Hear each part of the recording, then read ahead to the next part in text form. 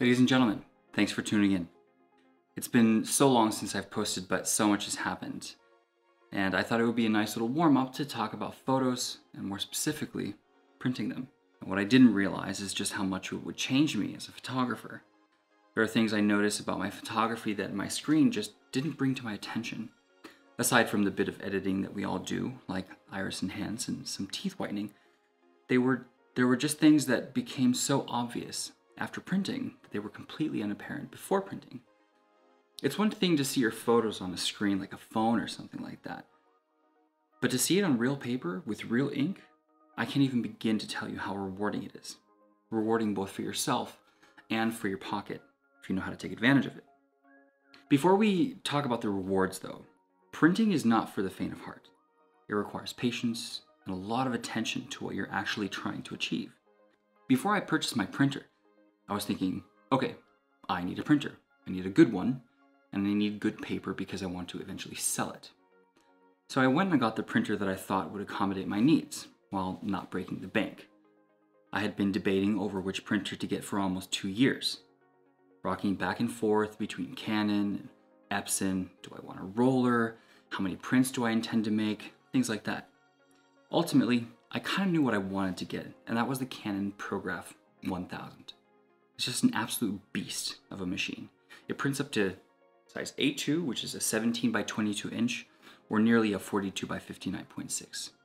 Normally, this is the maximum size that the average person wants in print, especially here in Scandinavia, since the homes are typically smaller than the size, let's say in the States, for example.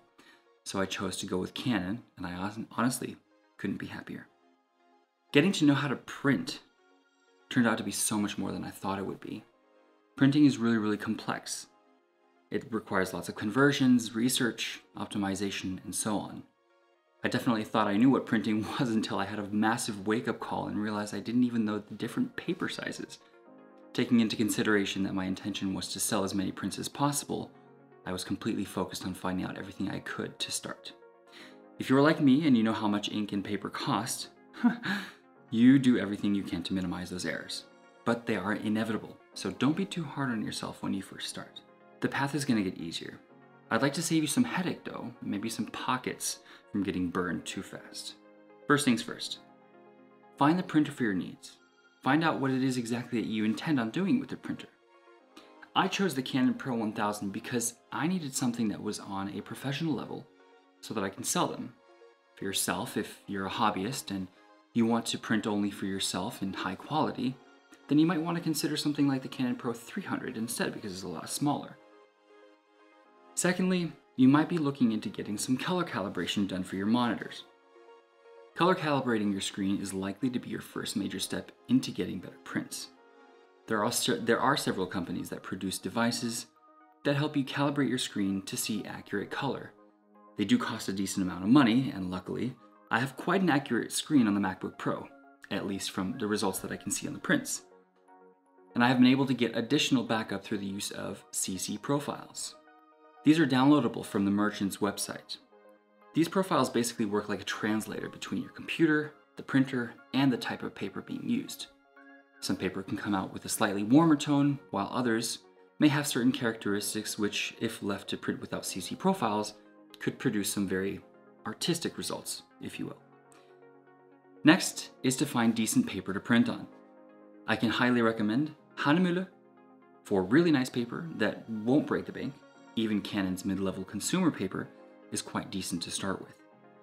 And unless you want to cut a lot, I would suggest getting pre-cut paper for smaller jobs. It's just easier. After you've gotten all the physical needs out of the way, it's time to start printing. So you've chosen the photo, you have edited the photo, you have the paper loaded, and now you're ready to print. I wish I could say that Lightroom or Photoshop can read your mind, but unfortunately you will have to get into that nitty gritty parts of sizing, paper setup, both on the printer and the computer, positioning your photos, orienting them, and choosing between borderless or bordered prints, and the fun part, making sure that your aspect ratios are in the correct proportions for the print that you're trying to make. If your photos aren't if your photos aren't set up properly, you could end up with cut off photos or zoomed in photos, etc. When you take into consideration that it's not free, you tend to respect the craft of printing a little bit more. So, after all that, out comes your print, happiness starts to ensue, and there it is. All the glory, all the effort that you have put into making this, and it's here in physical form. Just wow.